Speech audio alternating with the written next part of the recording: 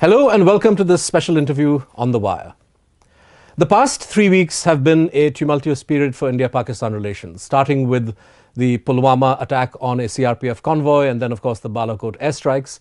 Uh, we saw for the first time uh, a military confrontation that involved the use of air power between India and Pakistan, and it seemed for at least a day or two as if India and Pakistan, the two countries, were set for a larger military confrontation. Fortunately, Sena Council seems to have prevailed.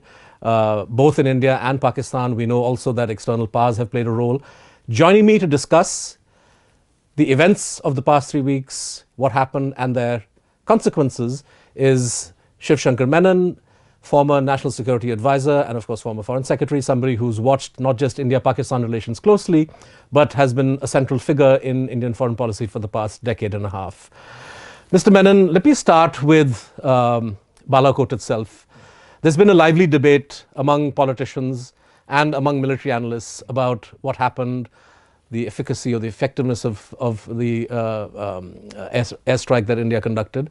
Um, any use of military power involves risks and there is a there is a payoff. Uh, in other words, a cost benefit analysis is presumably made before a decision is taken to use uh, uh, um, uh, to re to resort to military means. What, to your mind, as a former NSA and somebody who watches the um, relationship, what to your mind were the benefits or payoff from uh, the use of military power this time, and uh, the the risks that are attendant on that?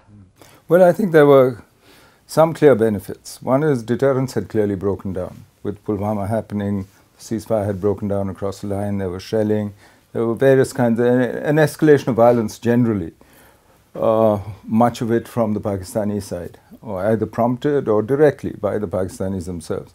So it was necessary to restore that, and I think the strikes on Balakot at least uh, forced a recalculus on a recalculation on the Pakistani side of the costs and of what we would be ready to do to prevent it, that we are prepared to do an airstrike, that in itself is, is an escalation, on Pakistani territory against those who not only did but also professed to have hit us in Pulwama. JEM, Jaish actually claimed credit for this, so called credit. So, for me, therefore, it was necessary and the benefit really was there. I mean, there is a clear military and even a political benefit in changing the calculus and trying to restore deterrence.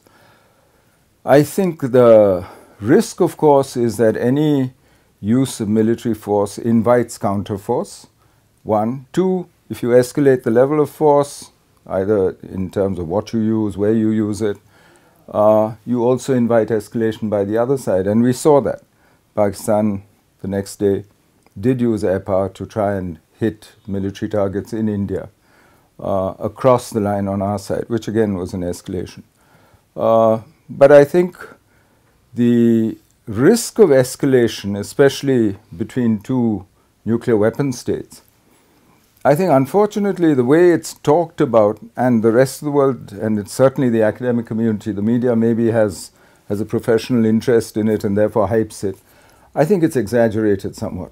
Because these are rational people on both sides. It's not that the Pakistanis or we are suicidal. Nobody actually wants to raise it. And there's no automatic doomsday machine which takes you up the so called escalation ladder. Uh, so it's not as though it naturally works. At each stage, there are decisions to be made by both sides. And both sides made the right decisions and actually wound it down. That doesn't mean it's over. Because it's not as though here's an episode, problem solved, let's move on. Move on. No. I don't think anyone can guarantee that there won't be cross border terrorism from Pakistan in the future. In fact, the incentives for that remain high. And one reason for that is because of the political uses to which it's been put. The more you beat the political drum and use it for political uses, the more the other side then has an interest in also using the same yeah. and doing it out. So you you've actually incentivized more attacks. That's one of the risks, I think. Thirdly, I think by the use of the military instrument, uh, you need to remember that it's only one of your potential tools of statecraft, that you have a whole range of things that you can use, mm. and that you are most successful when you actually use all of them together in a strategic, coordinated fashion to achieve certain outcomes. Uh, but there again, you know, the moment not everything needs to be done publicly, not everything has to be, in fact, should be done, because the more public you go, the more his public his incentives to also be seen to be reacting publicly. So it's it's a calculus, as you said, Right. between costs and benefits, and where you choose to play it. If, if What's been missing, though, I think, in the last three weeks, is uh, proper strategic communication with our own people, with our own. Every day there's a new story ascribed to sources. And, you know, I mean, this kind of confusion, and frankly, on completely irrelevant issues, whether it was 300 or 50 or 20 people who got killed, that's not a measure of success. Right. Or the size of the holes in the roof. I mean, how is this relevant? Right. After all, you're trying to create an outcome. Right. So it's you measure against the outcomes that you you have set for yourself. Um, I want to amplify uh, one part of what you said on the risk side, the uh, the question of escalation, and if we set aside, and I think what you say is true that the uh, international community and the media uh, makes uh, you know exaggerates the the nuclear part, right? Although here I think Pakistan consciously played to that by convening a meeting of the National Advisory Council and you know uh, saying in so many words that you know what that means and so on, right? So they were playing to the gallery, but uh, I want to pick up on the uh, issue that you have raised, which is of incentivizing uh, attacks from the other side. And the question of escalation, to my mind, is the following that after the post Uri surgical strikes, uh, which were again, uh, you know, we were told conducted along the LOC, so presumably not very deep ingress. Uh, the assumption was that this was put paid to uh, uh, terrorism from across the border. A lot of uh, exaggerated claims were made about its effectiveness. Uh, those surgical strikes did not stop what happened in Nagrota, did not stop what happened in Sunjuwan, and they certainly did not stop what happened in Pulwama. Hence, you have escalated in terms of your response to um, an airstrike. Uh, if Pakistan based groups, either acting at the behest of uh, the Pakistani establishment, or even an ISIS kind of group, which um, is widely recognized not to be under the control of Pakistan, but nevertheless has an interest in stirring up the pot. Uh, if they were to uh, stage spectacular attacks in the hope of drawing an even more robust Indian military response, is that is that the kind of danger that you're hinting? Uh, uh, That possibility is always there, but you have the choice whether to respond. but the way- politically, you've talked yourself into an escalatory ladder not, in a way. Not necessarily. I think you need to be clear in your own mind that you're not going to get sucked into playing their game. You mentioned Pakistan, you know, always waving the nuclear card. Uh, that's because they want to internationalize this. I mean, they do feel inferior to you. And therefore, they think if they can internationalize it, and how do they get international attention? But by saying this is a nuclear flashpoint. It's a very dangerous situation. The world should get involved. They want to get the world involved. We haven't felt the need in the past. Uh, we and so that makes a big difference. The same thing with whether we incentivize groups like this. Frankly, groups like this, especially Jaish and Lashkar at least, whatever they do happens within a certain envelope which is created for them by the Pakistani army and the ISI. I mean, they, they don't attack Pakistan army and, or Pakistani targets. There are certain things that they do, and there are times when they have actually, you know, lowered the intensity of what they're doing when it suits their sponsors. So I, I don't think we should draw this distinction of some rogue organization. In fact, I have Afghan friends who tell me that ISIS is just another string to the ISI's bow. They, at least ISIS in Khorasan, which they face almost every day. So I, I don't think we need to uh, start looking for individual sort of actors in this. I think we know where it's coming from. We know who enables it, supports it, and to a very large extent directs it. Right. So the so the risk in terms of relying exclusively or primarily on military means rather than treating that as one of many options then lies in locking yourself into a situation where the other side is then calling the shots. Also, where you become predictable, you lose the initiative, Right. where he can then make you do what he wants. Right. And I think that's something you need to be very conscious of. That your goal here is to create the outcomes that suit you, Right. Not the ones that he wants. Right. And the outcomes rather than, you know, statements and so on. Right. Um, uh, you were NSA uh, under the Manmohan Singh government, of course, from 2010 onwards. So, so you weren't necessarily in the hot seat after 2611, although you were foreign secretary and you were privy to uh, a lot of the meetings and discussions that took place. We know um, from what you've written in your book, which came out um, three years 2016. ago, 2016, um, and uh, uh, from you know uh, that that the government contemplated uh, military action or retaliation of some kind or the other. Uh, what were, but then decided against it. What were the factors that went into the calculus at that time? Well, I think the calculus was what happens if we do use overt military means. In any case, we were going to do a whole host of other things anyway. And what happens if we don't? It's not that by not doing it, we therefore achieved wonderful results, but by not doing it, we did allow other means to work. We did get our hands on all those who had either procured the equipment or organized the funding around the world. We got cooperation across the world. The moment we had done something overtly military, it would have become, oh, there they go again, the two of them fighting. And you know, it's like the way adults react to children fighting. Nobody asks who started this. You just say, children, stop it.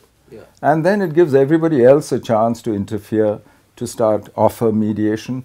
And that's exactly what we've seen this time around. Right. You have offers of mediation from the Chinese, from the Russians. The President Trump is saying you're going to hear good news very quickly. Right you know, everybody gets involved. I mean, it's a chance for them, free chance to look big and look as though they're doing something. Uh, ultimately, the decisions are yours and Pakistan's for your own relationship.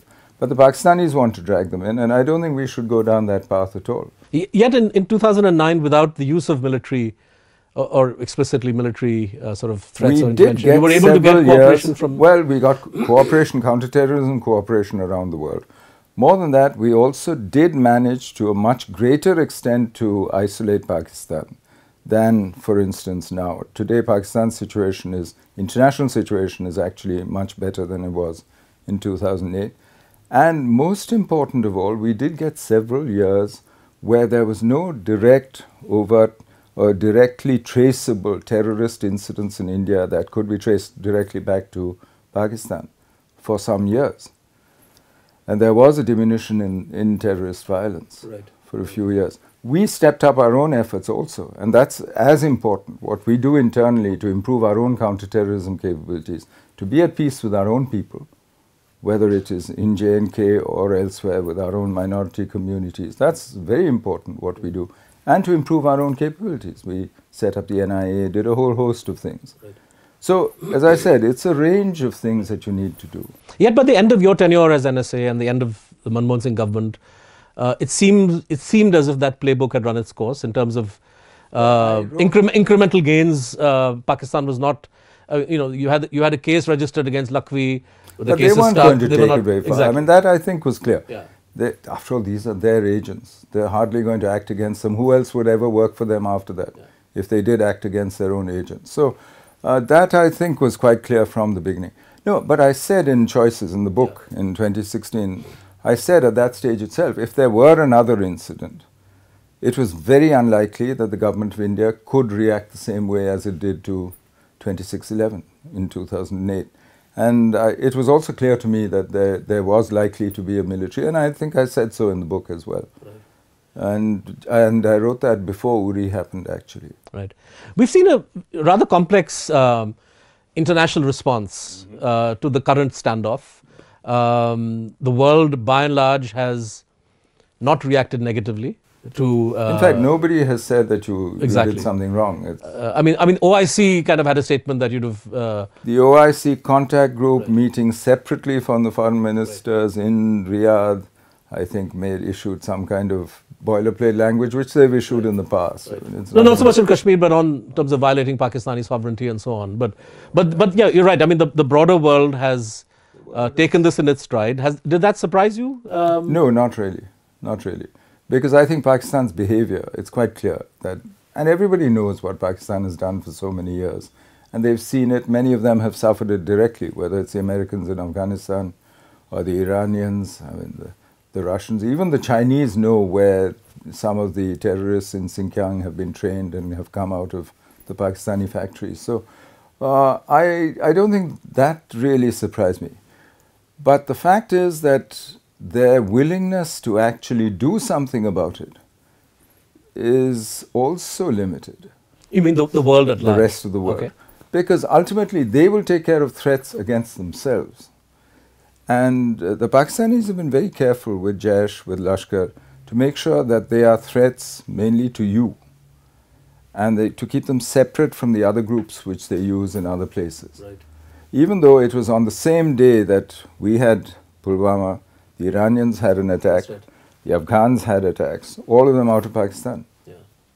So I, I think the problem here is that you can count on the world to let you take care of your own security. I don't think you can count on the world to take care of it for you. Right. And that's something that you have to. Secondly, today, Pakistan's position internationally, the Americans are trying to withdraw out of Afghanistan.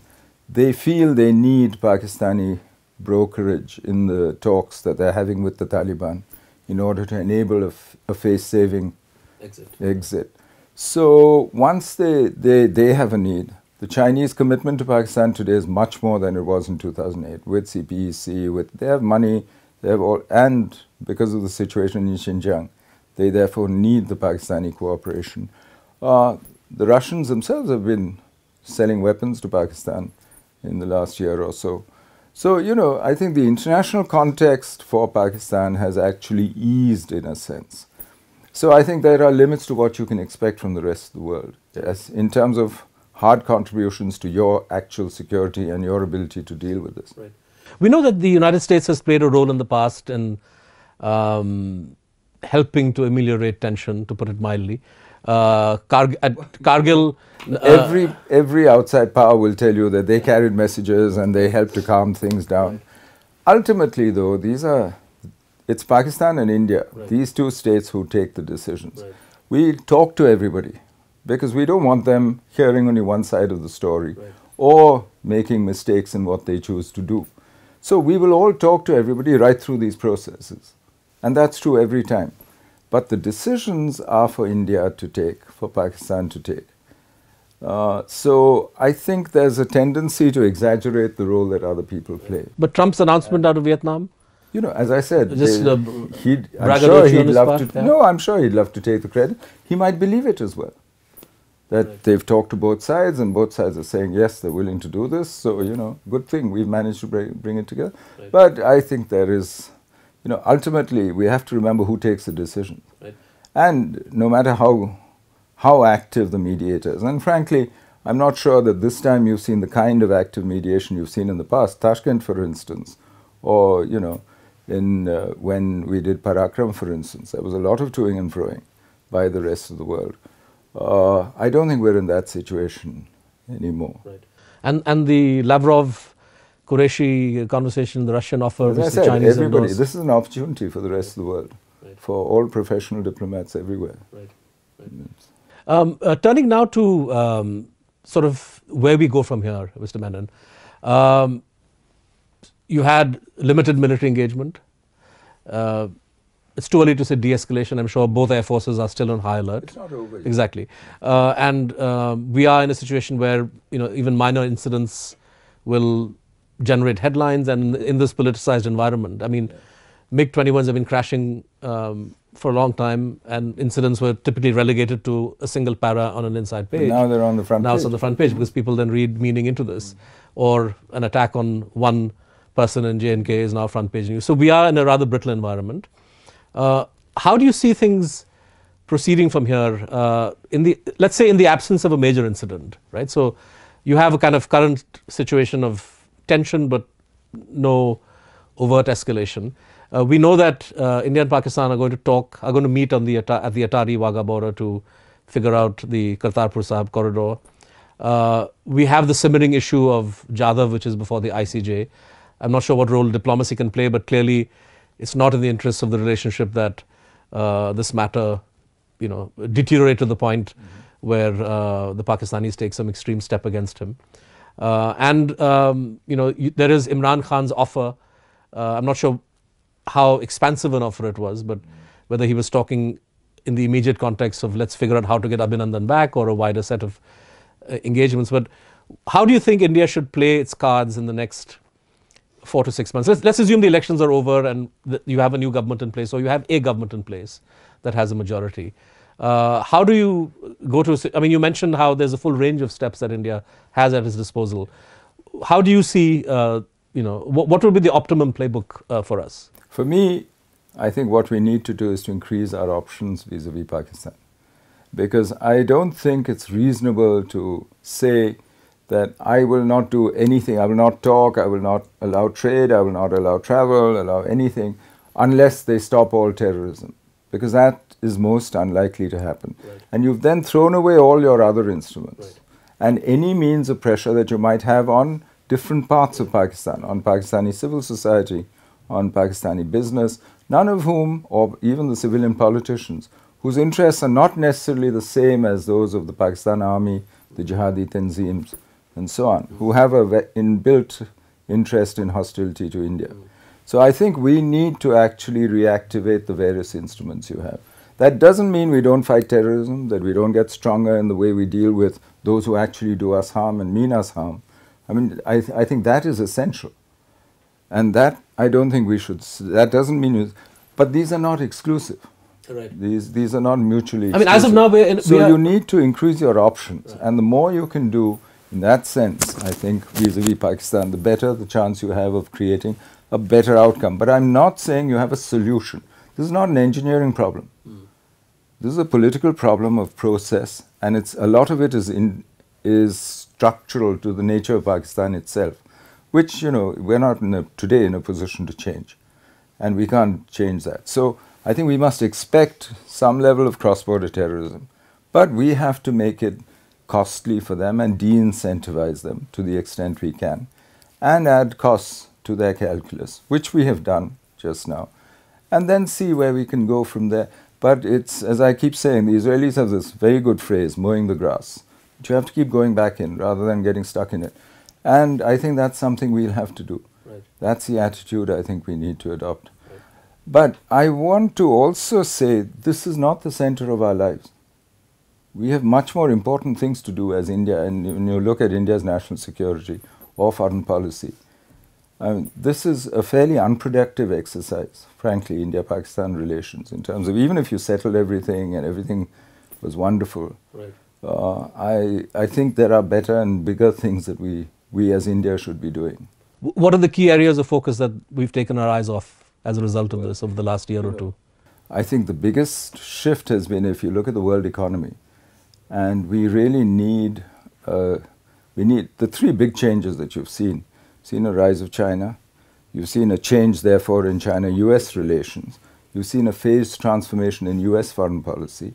And you've seen a huge change in the world economy to a low-growth trajectory where it's fragmenting, where and all three, you need to devise new solutions. You need to adapt your foreign and security policies to all three of these things.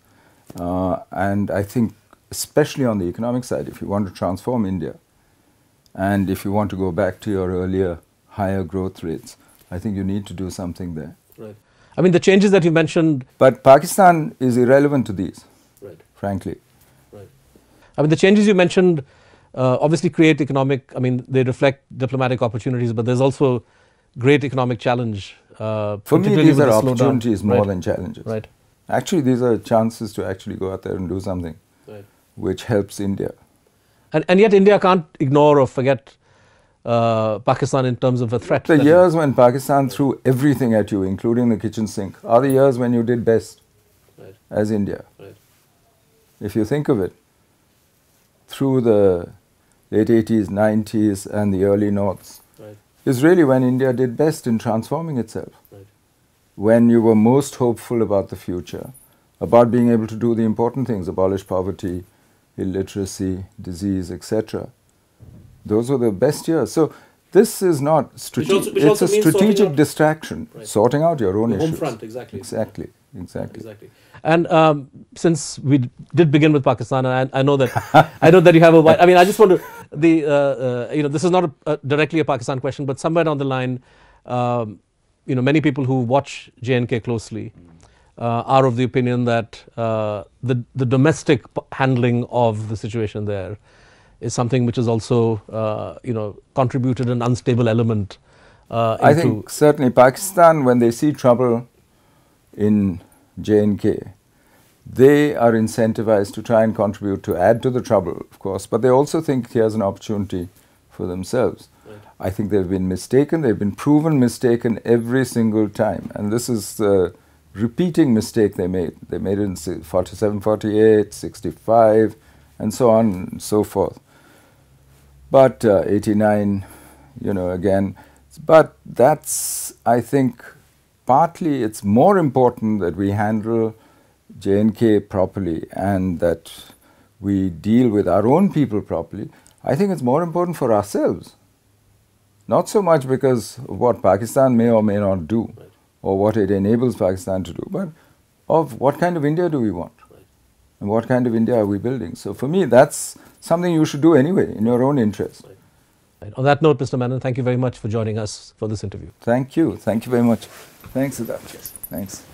To receive instant updates on all videos from The Wire, click the subscribe button and hit the bell icon. Pay to support independent journalism. Click the link in the description and choose the amount you want to pay.